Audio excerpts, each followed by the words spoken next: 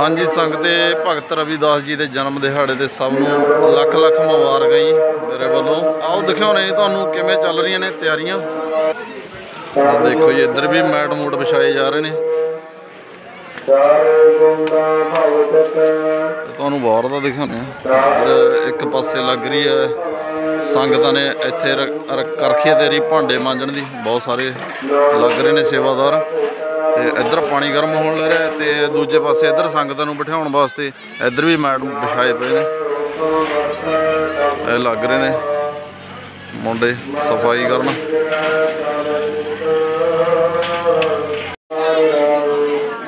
ਇਹ ਚੱਲ ਰਹੀ ਹੈ ਜਲੇਬੀਆਂ ਲੱਗ ਰਹੀਆਂ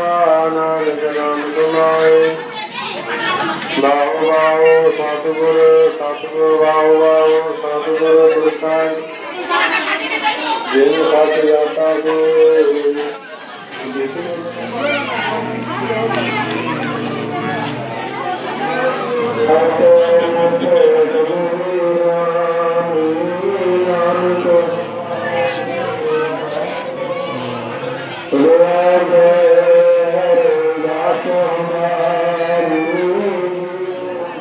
ਕਿੱਥੇ? ਜਿਵੇਂ ਹੁਣ ਮਿਲਕੀ ਤੇ ਗ੍ਰੰਥੀ ਦੀ ਬੰਬਾ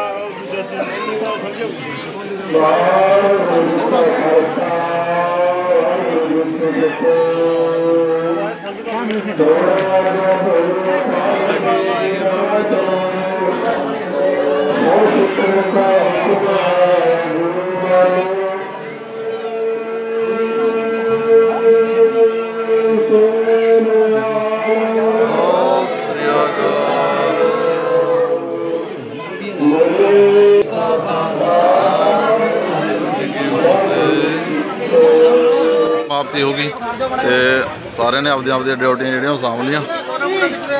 ਤਾਂ ਚਲੋ ਉਹ ਕਰਦੇ ਹਾਂ ਸੇਵਾ ਕਰਦੇ ਹਾਂ ਕੋਈ। ਓਏ ਯਾਰ ਲੈ ਹੋਰੇ ਲੱਗ ਗਿਆ।